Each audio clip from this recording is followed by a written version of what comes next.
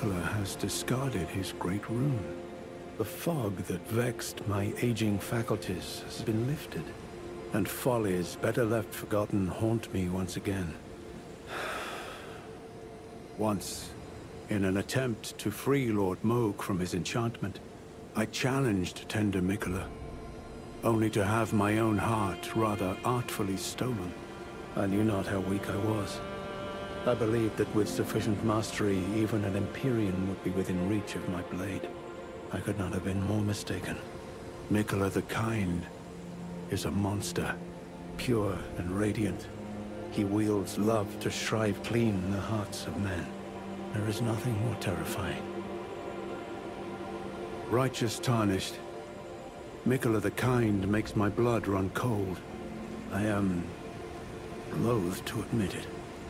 But even at this very instant, I wish to run very far away indeed.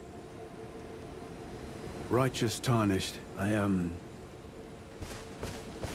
I don't feel it. It's broken. Kind Miquella's light is gone. But I stand tall. Together, we work. Together. For Miquella the Kind. I don't know what to do. Our mother abandoned her brood. She did not love us. We are her children. What should we do? Must we be sad forever? Hmm. I don't know either. Till we meet again.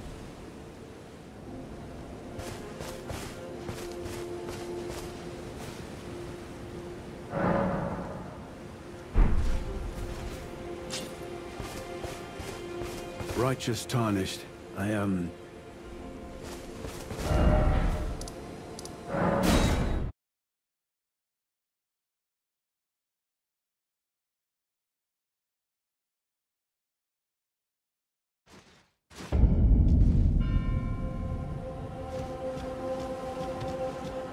Oh, there you are. Good. If you happen to see Lady Leda, tell her that I'm striking out on my own. Don't worry. I've no mind to cross any of you. The guidance of kind Miquella remains etched into my very flesh. It's only... There's something that I must know. Kindly Miquella spoke of the vow he once made with General Radahn, and it is here the vow shall be honored. I am a Redmane. I must know the nature of the vow. I'll be out on my own for some time. There's something I must know. There is no need for concern. I will be true to my word. Though I do feel a hint of regret. Lady Leda and Honorable Ansbach are of a special breed. How glorious it would have been had we met in battle as sworn enemies. I'll be out on my own. There's something...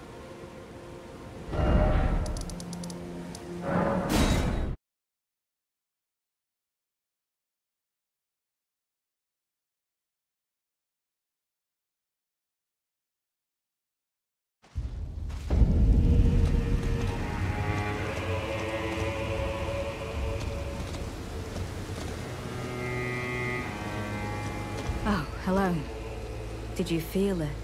Miquella the Kind's enchantment appears to have broken.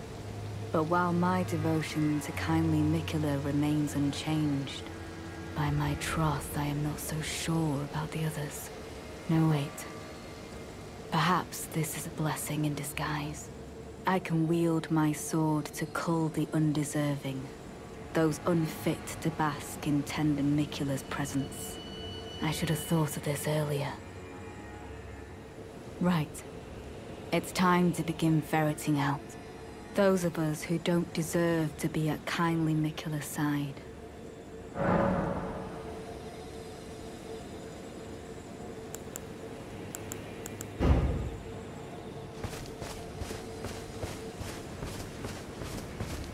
Intriguing. What remains there to be said? Do you presume us allies even now? Though Miquella's spell is newly broken, I must profess. The spell mattered little. Uphold his covenant, Miquella shall, and in godhood redeem our rueful clan. Then Marika and vilest Erdtree both will at last be from divinity wrenched. And surely, I... contented I will be. But first, clear resounds the call of vengeance. The Impaler, Messmer, must pay his due. In vengeance for the flames. My blade I wield. How could I allow myself to forget? Revenge alone assures me peace of mind. Think not to hinder me upon my path, lest you too wish to face the reckoning. Think lest you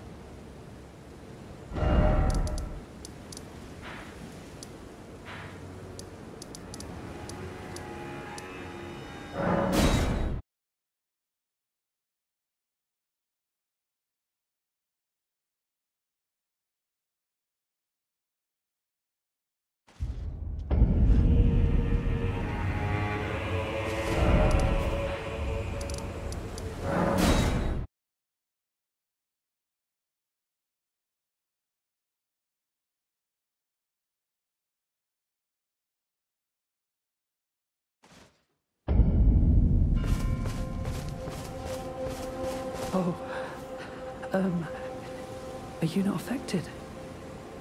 Even with the spell broken, I'm feeling rather lost. Haunted by memories of St. Trina. Her visage, her sen, the lure of velvety sleep. Would kindly Miquella chasten me for falling for St. Trina, while knowing that she was the discarded half? The problem is, I simply cannot help it. I would sacrifice everything just to gaze upon her one last time.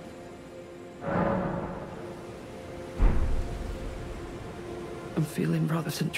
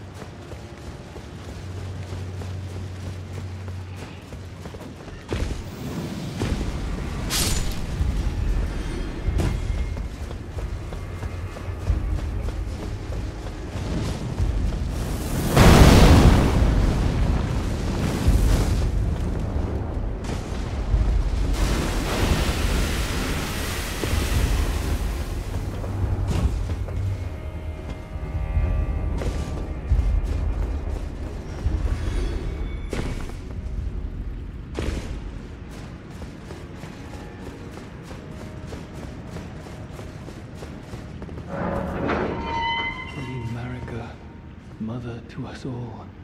Favor me with thy grace. I have met many who would threaten or distress thee, and quelled each and all. And I hereby swear to never cease. So please, grant me thy grace. Leave me with my solitary light. Queen Marika, I implore thee, bestow thy grace. Take not from me my solitary light.